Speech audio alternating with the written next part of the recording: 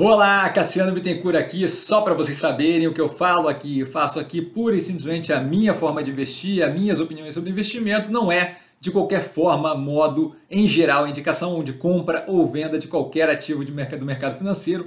E agora o vídeo, valeu! Olá, Cassiano Bittencourt, pelo Movimentos da Semana.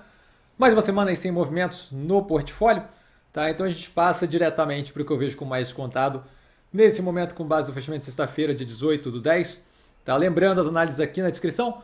Fala um pouco aqui, eu vou ser mais sucinto hoje, tá? especialmente porque, é, primeiro, é importante ver as análises completas, segundo, porque a gente acabou de ter o aquecimento no dia de ontem, sábado, de modo que a gente está prestes a ter os próximos resultados, então isso daqui acaba tendo.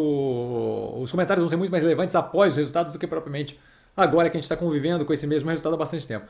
A gente tem a Log atuando cada vez mais como desenvolvedora é, com preço extremamente descontado e com uma dinâmica muito positiva para a expansão da operação, tá? com a alavancagem bem controlada, a parte de locação forte, com melhoria contínua dos resultados. A Açaí veio com crescimento por alavancagem, agora inclusive ajustando é, a meta de abertura de lojas para 2025 para justamente focar na redução dessa alavancagem depois daquele crescimento agressivo com a compra do extra e conversão das lojas. Vejo como bem positivo, dinâmica muito positiva, precificação completamente descasada da realidade.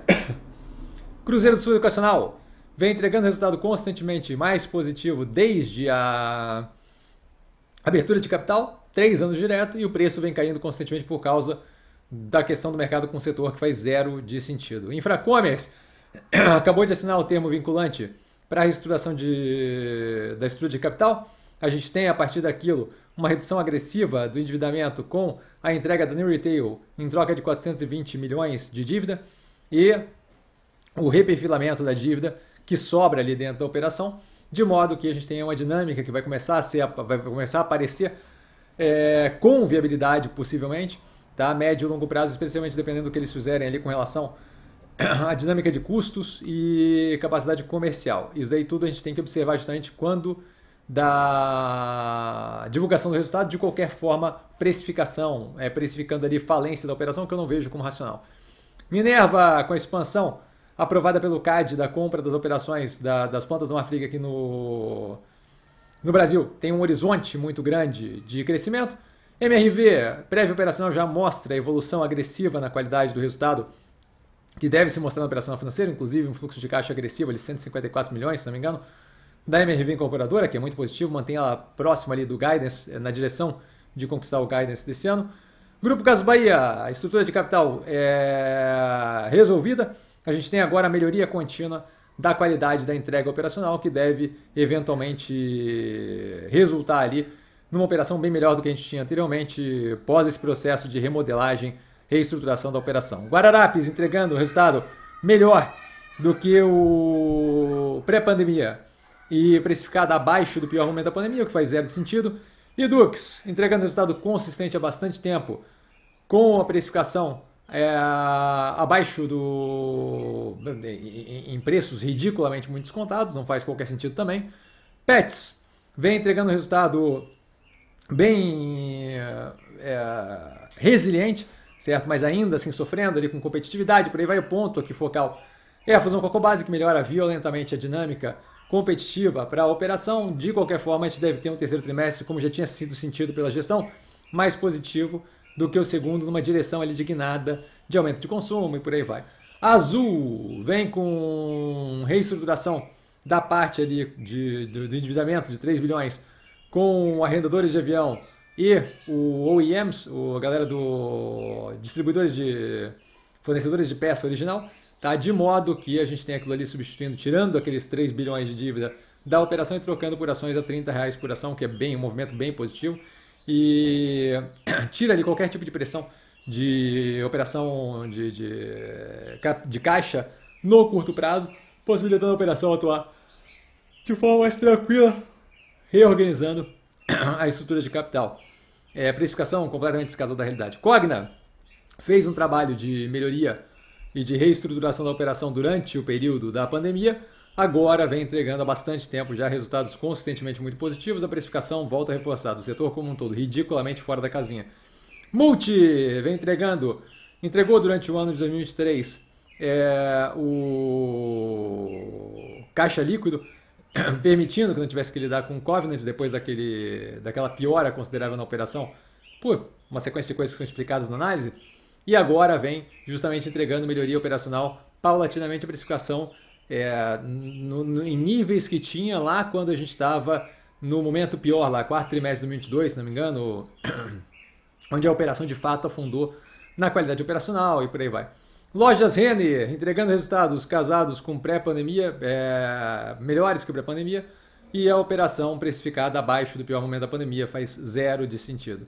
Zemp, a operação vem aí com crescimento, expansão aí com a compra da operação da Starbucks, é, da Salt Rock aqui no Brasil, agora como franqueado master do Subway aqui no Brasil, e vem aí com um aumento de capital privado que melhora a alavancagem e melhoria contínua da qualidade operacional, ainda não atingindo níveis de preço próximos do é, iguais ao do pré-pandemia, mas a precificação ridiculamente a menor histórica, se não me engano, muito abaixo do pior momento da pandemia, o que não faz qualquer sentido vagamente racional.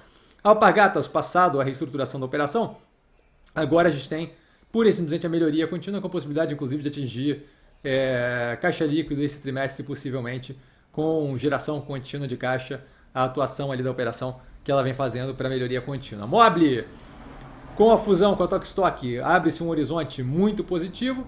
O resultado pontual desse trimestre não é propriamente o mais relevante, o mais relevante é justamente a continuidade daquela demanda que ela vai ter de aumento ali, que cria a economia de escala dentro da operação, que era justamente o que a gente precisava, abrindo um horizonte sem canibalismo com a Dockstock, onde as duas operações vão conseguir se ajudar é, e operar paralelamente, sem uma interferir na, nos clientes das outras pela, pelo patamar, é, pelo, pelo público-alvo diferente entre as operações. Então, precificação completamente fora da casinha também. Serena, buscando funding ali para o cluster Goodnight, certo? É basicamente é o único investimento que a gente tem nesse momento, que deixa ele sobrar bastante caixa, dado a não positividade demais de projetos nesse momento, deixa sobrar caixa ali para justamente ter uma redução mais agressiva na alavancagem, que é o que tem sido feito. Né? O grid, resultado medíocre, precificação absurdamente muito baixa, e a gente tem um horizonte ali construído para ela, onde cada cliente novo que eu tenho, eu basicamente ali tenho custo marginal muito pequeno, então é basicamente margem a mais. E a gente tem espaço ali para evoluir é, dentro do, do da, da, da, nova dinâmica operacional da operação que ela está construindo. Melnik, passado, trimestre passado, onde a gente teve o desastre no Rio Grande do Sul, a operação já mostra pela prévia operacional uma forte evolução na qualidade operacional, a gente deve ver isso daí refletido no operação financeira, precificação completamente descasada, eles vêm entregando tudo que foi é, desenhado desde o IPO, certo? Redução de estoque pronto, substituição de é, land bank por permuta para land bank por cash e por aí vai, certo? Então, bem positiva a operação, não faz qualquer sentido é, a precificação atual. E dúvida? Dúvida sempre no Instagram, arroba investir com sim, só ir lá falar comigo, não trago a pessoa amada, mas estou sempre tirando dúvida e vale lembrar que quem aprende a pensar bolsa opera como um mero detalhe. Um grande beijo a todo mundo e nos vemos amanhã é, na abertura de mercado logo cedo e no na abertura de mercado logo cedo, o ativo chamando a atenção no, na, na, metade do dia e no final do dia no, na live de segunda das 8 às 10 da noite, é, tirando dúvida de vocês. Valeu, galera, beijão! Eba.